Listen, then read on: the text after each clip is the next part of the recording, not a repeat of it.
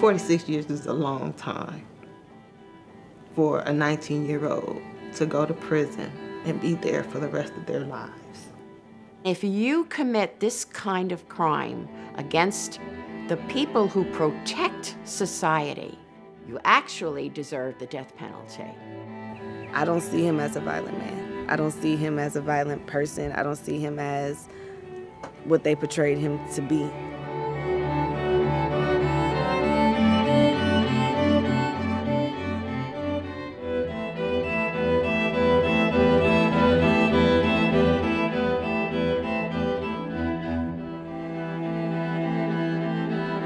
Talking about the parole, the possible parole of cop killers.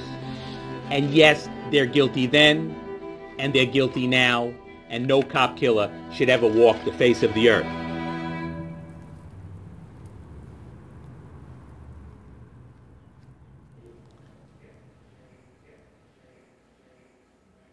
It is important that people understand that we did not receive a fair trial. There were multiple cover-ups in this case. But make me, let me make this point explicitly clear. Since 2002, my first parole hearing, I expressed remorse for the loss of life in this case. All right? Um, I understand the devastation um, by anyone losing their loved one. Uh, whether I'm guilty of it or not guilty of it, it is a loss. So the expression of remorse is part of my own humanity. The nature of the case, the nature of the crime, as one that can never change, but nonetheless is held against me. Uh, and so, I'm still in prison.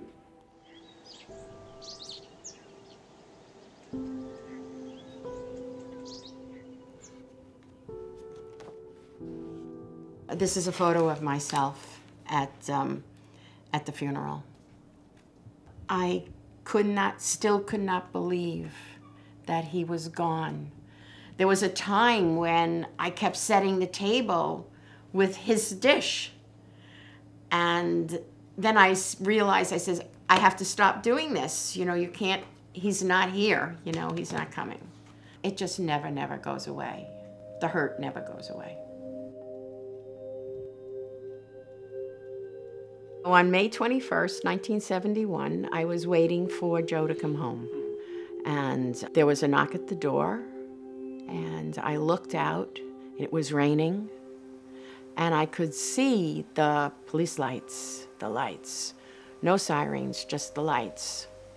And they took me in the police car to my father's house in Queens Village. My father got in the car with me. And then we went to Harlem Hospital. We got to Harlem Hospital, as I was starting to get out of the car, my father grabbed my arm and he told me that he was no longer alive. And then we went into Harlem Hospital.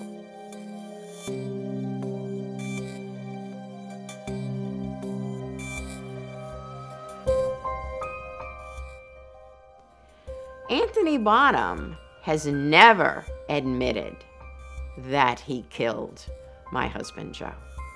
He has shown no remorse. All he's looking for right now is to get out of prison.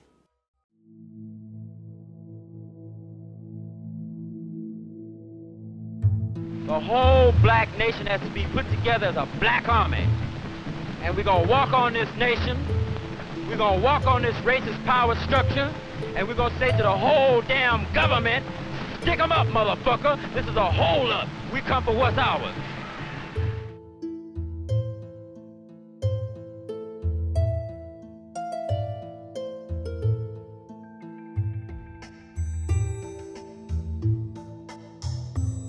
Being part of the Black Panther Party gave you a sense of belonging, a sense of manhood, a cause, the idea that black men armed and prepared to fight for the rights of black people was exciting.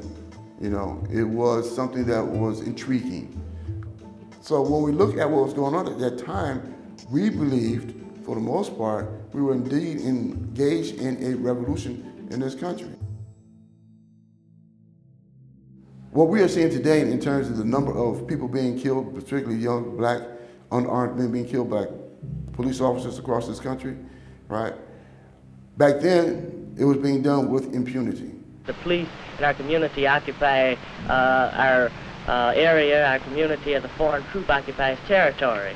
And the police are there not to, uh, in our community, not to uh, promote our welfare or uh, for our security and our safety, but they're there to contain us, uh, to uh, brutalize us and murder us. There was no uh, cameras, there weren't no dash cams. It was the Black Panther Party took it upon themselves to first begin the cop watch, right? Uh, and developed the kind of forms of security and let them know that there will be others who are going to be watching what you're doing, right, in the name of the law. Uh, in, in terms of having been engaged in struggle, uh, I think it was noble. I think that's a noble act for any person uh, to fight for what they know is their human and inalienable rights. Can you catch? Why are you being hard headed? Can you catch? Let me see you catch. Gonna hit his chest, hit the floor. Oh, we got it that time. Good job. My mom was pregnant with me when he went to prison. Um, when I was born, he was in prison. Can say maybe about 10 times I recall seeing him. Um, most of it was my adult life. My dad, growing up in San Jose, you know, working mom, working dad, and things like that. But then when you go out into the community in Oakland and San Francisco, you don't see that. He didn't see that. He saw the brutality and things like that. He saw the moms and the kids um, struggling and asking for money for food and things like that. And I think that's what prompted him. Mm, like everybody should live like I'm living. So why not go out and help a community, help, you know, get with a group of people that are thinking like me so that we can grow. I don't see him as a violent man. I don't see him as a violent person. I don't see him as what they portrayed him to be. He's always been loving and caring and want to know what I'm doing, making sure that I'm getting good grades, want to make sure that I'm doing the right things, staying on the right track. I just feel like if they can have the opportunity to see what we see in him, you know, maybe things will be different. But I just feel like with everything that's going on, they're trying to keep him in this sheltered in this little box. They don't want him to be able to spend time with his kids and grandchildren and stuff like that. You know, um, he's never met my son.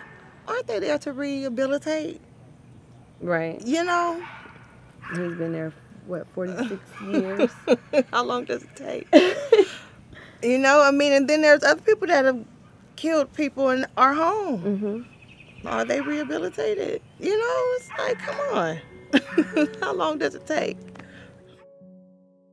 My uh, endurance of nearly half a century in prison uh, is more, more or less due to the politics of this particular case. If I was a common criminal, the greater probability that I've been out a long time ago. Uh, when we see the PBA adamantly opposing our release, or they try to vilify us and call us terrorists, right? That's politics. They quantify uh, their, their position in political terms. When 25 years came up, I just knew my dad was coming home. I just knew my dad was coming home.